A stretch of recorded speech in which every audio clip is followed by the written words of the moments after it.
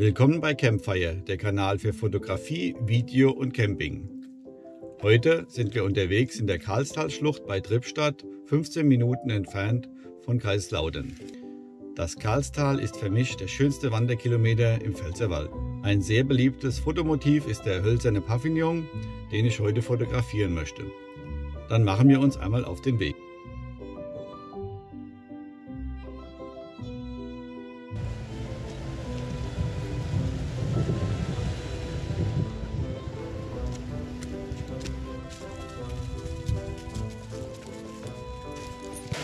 Aufgrund seiner Felsformationen und seltenen Flora ist das Karlstal heute ein Naturschutzgebiet.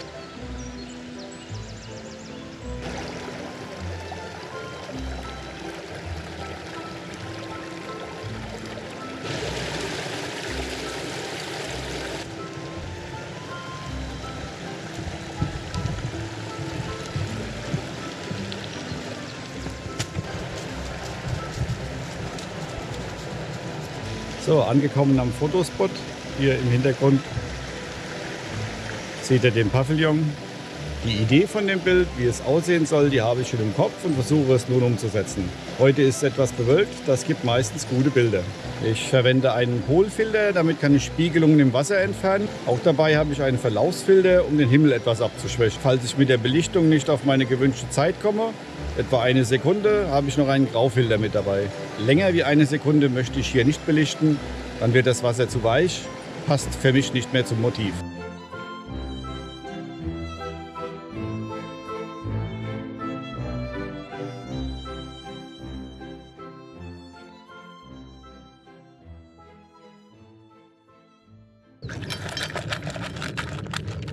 So, die Bilder sind soweit gemacht.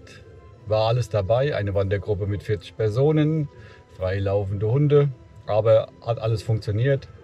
Ich habe noch ein paar verschiedene Perspektiven aufgenommen. Wir sehen uns dann bei der Bearbeitung am PC. Beginnen wir mit der Bearbeitung in Lightroom. Diese Aufnahme habe ich ausgewählt und so soll es dann einmal aussehen. Eine Panoramaaufnahme im Format 5400 x 1350 Pixel.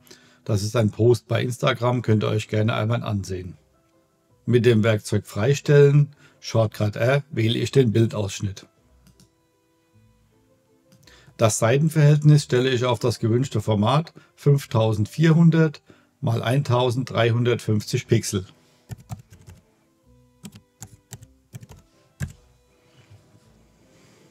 Jetzt passe ich den Ausschnitt nach meinen Vorstellungen an und richte das Bild etwas aus, so dass der Pavillon gerade ist. Den rechten Baum nehme ich als Bildrand und links führt die Treppe den Betrachter ins Bild. In den Grundeinstellungen bearbeiten wir die Helligkeit im Bild. Fährt man über die Regler, erscheint im Histogramm der Bereich Grau, der verändert wird. Macht man dies im Histogramm, wird der Regler markiert, der diesen Bereich beeinflusst. Ich kann auch im Histogramm klicken und nach rechts und links ziehen, um die Bereiche zu verändern. Da ich für die weitere Bearbeitung ein gleichmäßig belichtetes Bild brauche, ziehe ich das alles etwas nach rechts und helle die Tiefen etwas auf.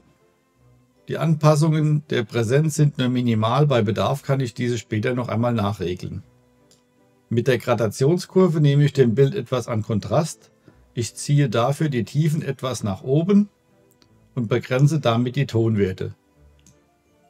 Die Kurve passe ich noch etwas an, etwa so. Die Schatten bleiben dabei erhalten, so ist es okay.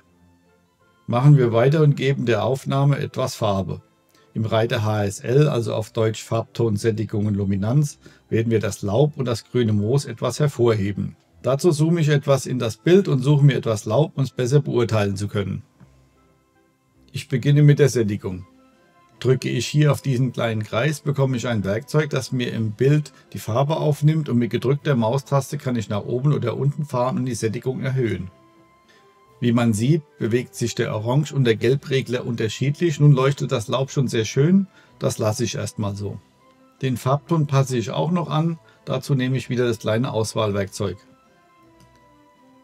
Etwa so. Zum Schluss die Luminanz. Wo ich da meist etwas in den negativen Bereich gehe, das sättigt die Farben noch etwas. Für die bemoosten Flächen gehe ich genauso vor, Sättigung anpassen, Farbton und Luminanz. Fertig. Color Grading. Damit kann man gut einen Bildlook erstellen. Ich persönlich gebe den Schatten gern etwas blau und den Lichter in einen orange-gelb-Ton.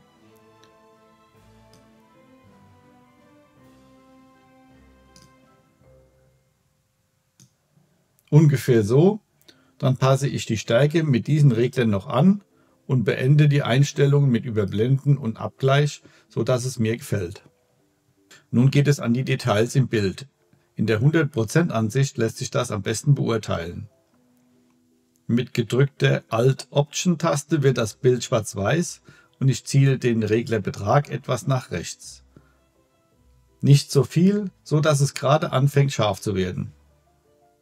Mit dem Regler Radius steuert man die Breite der Kante. Schärfe ist ja nur eine Kontrasterhöhung und Kanten werden betont.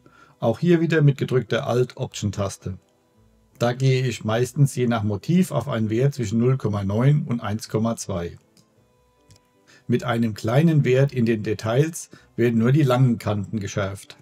Als letztes der Regler Maskieren, der für mich wichtigste. Hier wird eingestellt, wo im Bild geschärft wird. Bei 0 wird alles geschärft.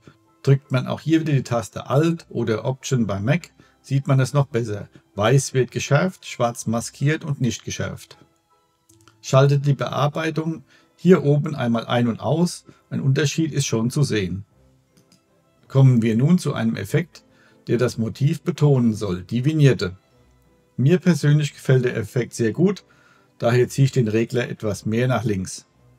Damit das nicht so aufgesetzt aussieht, hole ich die hellen Bildteile im Vordergrund wieder etwas zurück, indem ich den Regler für die Lichter etwas nach rechts ziehe. Im Vordergrund rechts kann man das sehr gut sehen. Das Kalibrierungsbedienfeld dient ja eigentlich zur Anpassung der Kamerafarben, eignet sich aber hervorragend, um das Bild noch etwas aufzupeppen. Die Farben werden hier anders bearbeitet als im Modul Farbtonsättigung. Da alle Farben im Bild ja aus Rot, Grün und Blau, also RGB, entstehen und Blau hier im Bild am meisten vorhanden ist, sollte die Wirkung hier am stärksten sichtbar sein. Probieren wir es aus. Ich ziehe den Sättigungsregler für Blau ganz nach rechts und die Farben leuchten nun richtig. Den Grünregler lasse ich so wie er ist, nur etwas Setting für Rot, dann ist die Bearbeitung soweit fertig. In den Grundeinstellungen werde ich Belichtung vielleicht noch etwas zurücknehmen, das ist wie immer Geschmackssache. Und noch ein paar kleine Anpassungen an der Helligkeit. Wichtig ist, dass das Bild einem selbst gefällt. Wenn es anderen dann auch gefällt, umso besser. Vielen Dank, dass du bis zum Schluss durchgehalten hast. Über ein Like würde ich mich freuen.